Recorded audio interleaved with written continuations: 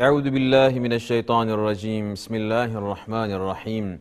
Elhamdülillahi rabbil alamin ve salatu vesselam ala rasulina Muhammed ve ala alihi ve sahbihi ecmaîn. Değerli izleyiciler, Medrese-i Nur'da inşallah Risale-i Nur'dan okuyacağız. E, Tabi Ramazan ayının e, arefesindeyiz. E, Evvela e, hepinizin Ramazan-ı Şerifinizi tebrik ediyoruz. Rabbim inşallah Kadir gecesine de ulaştırsın, bayrama da ulaştırsın ve bu Ramazan'dan en güzel şekilde istifade etmeyi nasip eylesin. Ramazan ayına girerken Bediüzzaman Hazretlerinin 29. mektupta yani mektubat kitabında Ramazan Risalesi diye bir bölüm var.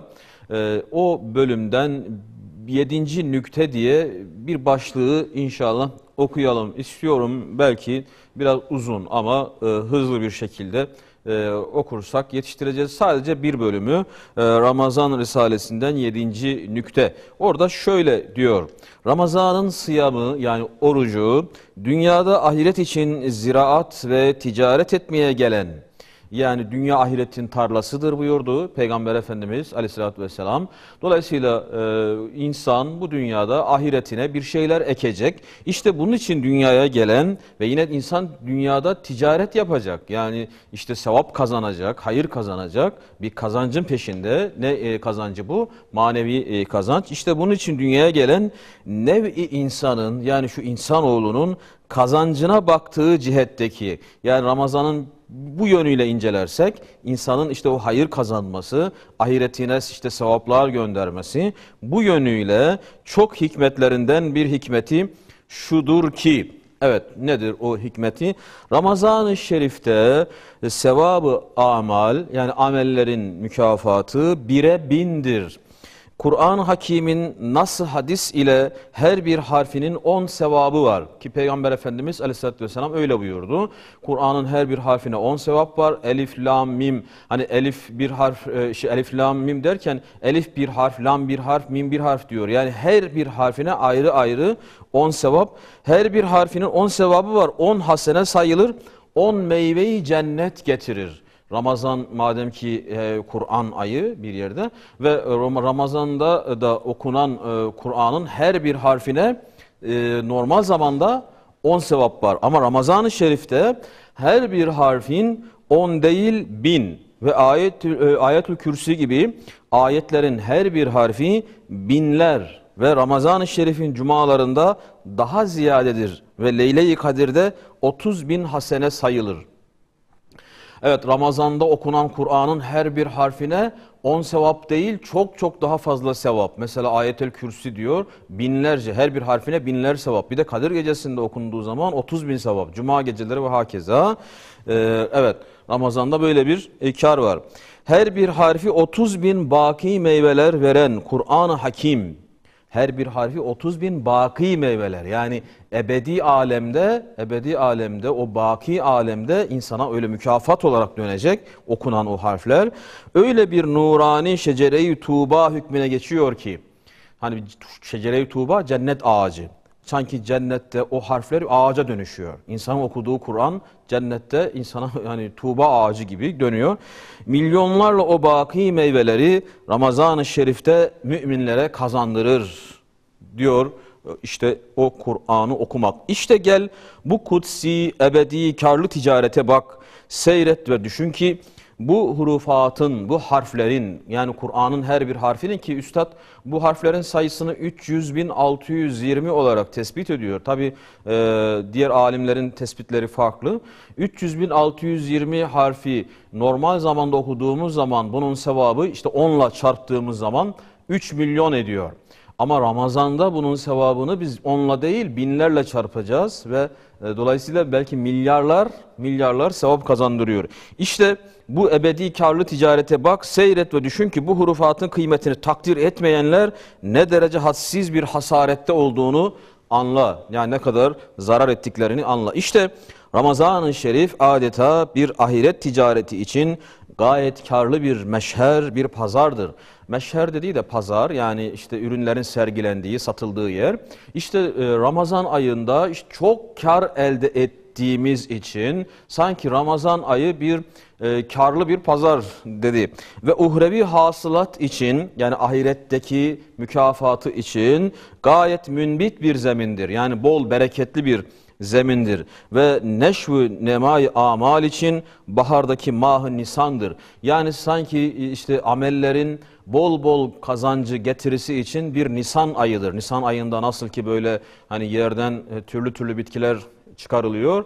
İşte o, o şekilde Ramazan ayında da her bir e, işte Kur'an harfi bir tohum gibi e, ve bir ağaca dönüşüyor. E, çok böyle e, e, nasıl diyelim bereketli ürün netice veriyor. Saltanat-ı rububiyeti ilahiyeye karşı ubudiyeti beşeriyenin saltanat-ı rububiyeti ilahiye yani Allahü Teala'nın bütün alemler üzerinde, bütün varlıklar üzerinde hükmetmesi, rızık vererek hükmet, yaratması, öldürmesi vesaire bütün hükümleri işte buna karşı, onun o hükümranlığına karşı ubudiyeti beşeriyenin yani insanın kulluğunun, itaatinin, ibadetinin resmi geçit yapmasına en parlak kutsi bir bayram hükmündedir.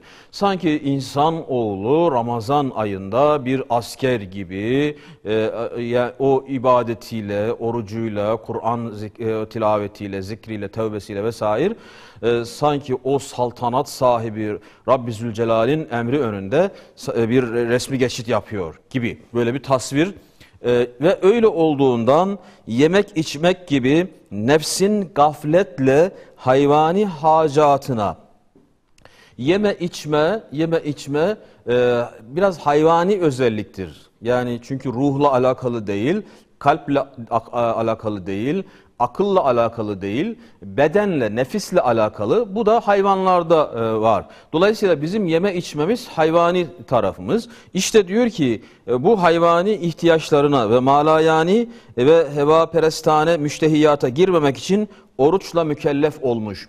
Madem ki Ramazan ayı öyle bir resmi geçittir, öyle resmi bir merasim gibidir, yani böyle sanki bir devlet törenidir. Bu törende diyor yeme içmeyle meşgul olunur mu? Yani siz kralın huzuruna gittiğiniz zaman, padişahın huzuruna gittiğiniz zaman elinizde ekmekle gider misiniz diyor.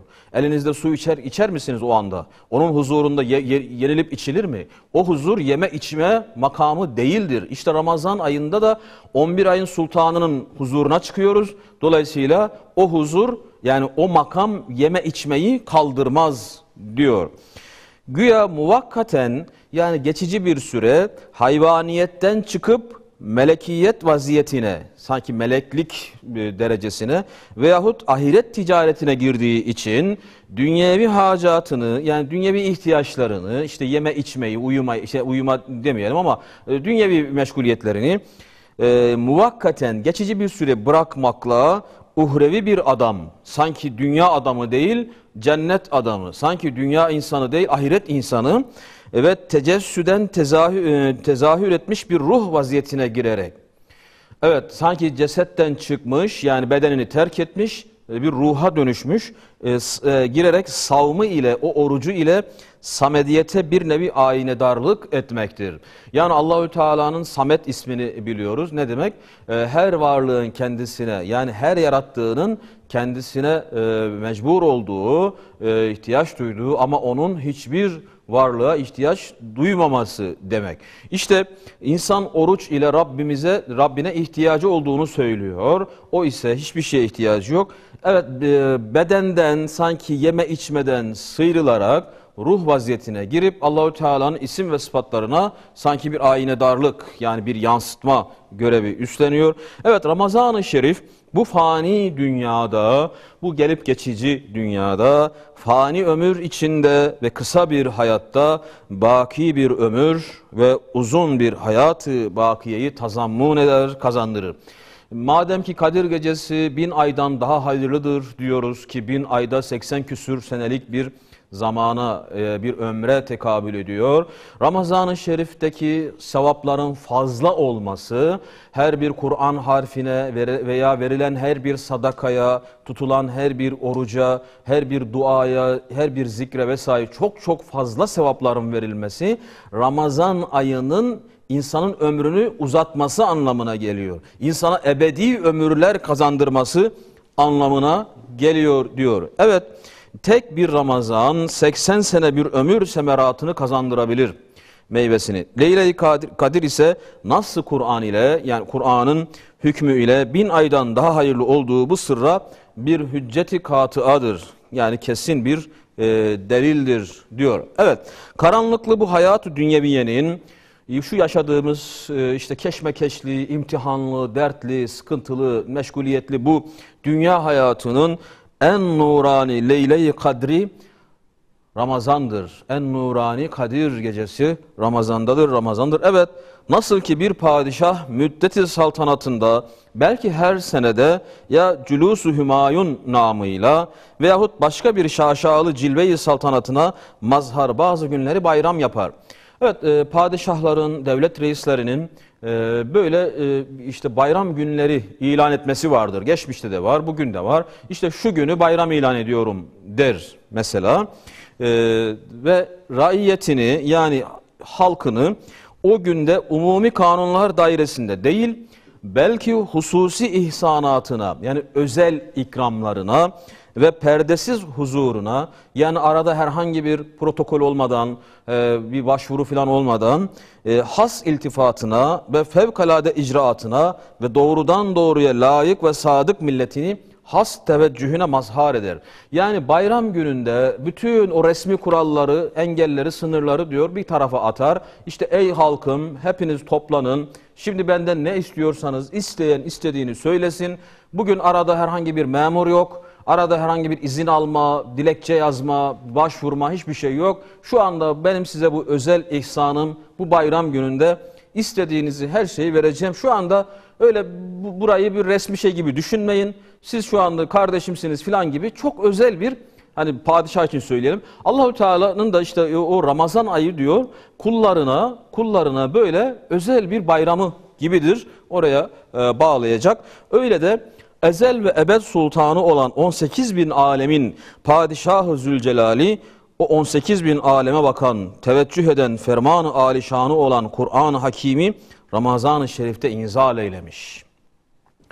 O Kur'an-ı Hakimi Ramazan, Ramazan'da indirmesi tabii ki Ramazan'ı e, bir bayram haline getiriyor. Elbette o Ramazan mahsus bir bayram-ı ilahi ve bir meşher Rabbani, Rabbani bir merasim, işte bir tören ve bir meclis ruhani hükmüne geçmek, ruhani bir, sanki e, herkes ruhani bir vaziyete giriyor. Muktezai hikmettir, hikmetinin gereğidir. Madem Ramazan o bayramdır, elbette bir derece süfli ve hayvani meşagilden, yani işte insanın hayvana benzeten, o yeme içmeden, o düşük işlerden, insanları çekmek için oruca emredilecek. Madem ki böyle yüce bir bayram, bir sultanın hediye-i nişanesi, öyle güzel bir günü, o zaman diyor insana yakışır bir hale bürünecek. Yani insanın ruhuna yakışır, yaraşır bir hale. Hayvana değil de işte o yeme içme dedi ya hani hayvani bir özelliktir. Dolayısıyla e, oruç emredilmiştir. Ve o orucun ekmeli ise yani en mükemmeli ise mide gibi bütün duyguları gözü, kulağı, kalbi, hayali, fikri gibi cihazat insaniyeye dahi yani insanın organlarına dahi bir nevi oruç tutturmaktır. Yani muharremattan, haram şeylerden, malayaniyattan yani boş işlerden e, çekmek, gözünü, kulağını, elini, ayağını, duygularını, düşüncelerini ve her birine mahsus ubudiyete yani kulluğa sevk etmektir. Mesela dilini yalandan, gıybetten ve galiz tabirlerden yani katı sözlerden, çirkin ifadelerden ayırmakla ona oruç tutturmaktır diline. E, ve o, lisanı tilaveti Kur'an ve zikir ve tesbih ve salavat ve istiğfar gibi şeylerle meşgul etmek Ramazan ayında. Ramazan ayında bu dil ile hakaret etmemek, küfretmemek, gıybet etmemek, çirkin küfürlü sözler söylememek tam aksine Kur'an ile, tesbih ile, zikirle, istiğfar ile, salavat ile, dua ile meşgul etmek mesela. E, gözünü gözünün namahreme bakmaktan, haram şeylere ve kulağını fena şeyleri işitmekten men edip gözünü ibrete ve kulağını hak söz ve Kur'an dinlemeye sarf etmek gibi sair cihazata da yani diğer bütün organlara da bir nevi oruç tutturmaktır. Zaten mide en büyük bir fabrika olduğu için oruç ile ona tatili eşgal ettirilse Yani onu her türlü yeme içmeden işte uzak e, uzak tutturulsa yani böyle ye- yenmese içmese başka küçük tezgahlar kolayca ona ittiba ettirilebilir. Yani insanda diyor en çok çalışan en büyük fabrika midedir. Eğer o mide yemezse içmezse o zaman gözde kolay, e, dilde, e, efendim kulakta vesaire organlarda kolay bir şekilde günahlardan, haramlardan, dünyevi şeylerden uzak tutulabilir diyor. E, yedinci nüktede e, tekrar Ramazan-ı Şerifinizi tebrik ediyoruz E, ve Ramazan-ı Şerif'ten sonra buluşmak dileğiyle hepinize Allah'a emanet ediyoruz. Selamun Aleyküm ve Rahmetullahi ve Berekatuhu.